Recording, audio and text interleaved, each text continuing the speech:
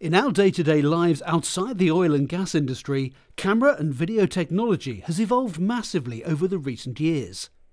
EV's downhole video technology is now bringing a similar evolution to the oil and gas industry. Video images show exactly what is happening downhole and remove the need for indirect deductions and guesswork. This video is a good example of that change.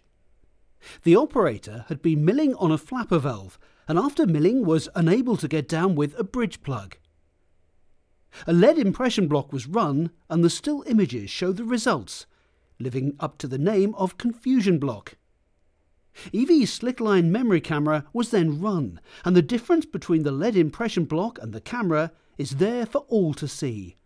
The flapper has been partially milled and is now lying on its side.